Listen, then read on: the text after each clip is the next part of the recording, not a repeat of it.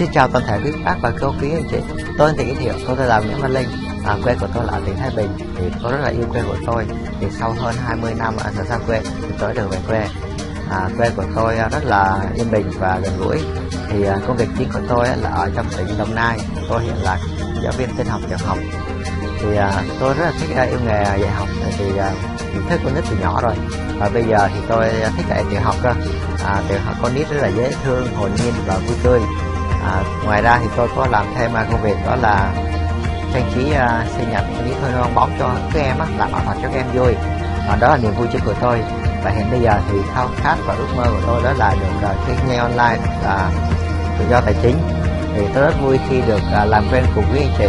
Và chúng ta sẽ cố gắng để vượt qua tất cả những khó khăn và hướng tới thành công. À, tôi uh, rất là vui khi uh, được ở đây thì uh, giới thiệu uh, làm một video giới thiệu bản thân mình. À, tôi xin uh, chúc cho anh chị à, sức khỏe và thành công trong cuộc đời mình đã chọn. À, xin chào quý chị.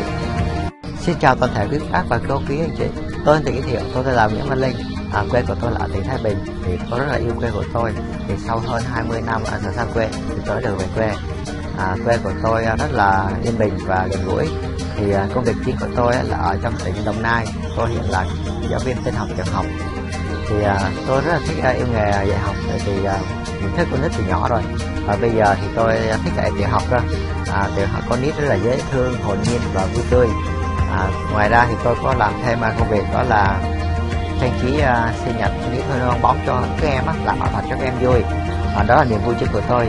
Và hiện bây giờ thì khao khát và ước mơ của tôi đó là được uh, kinh doanh online và tự do tài chính. Thì tôi rất vui khi được uh, làm quen cùng với anh chị và chúng ta sẽ cố gắng để vượt qua tất cả những khó khăn và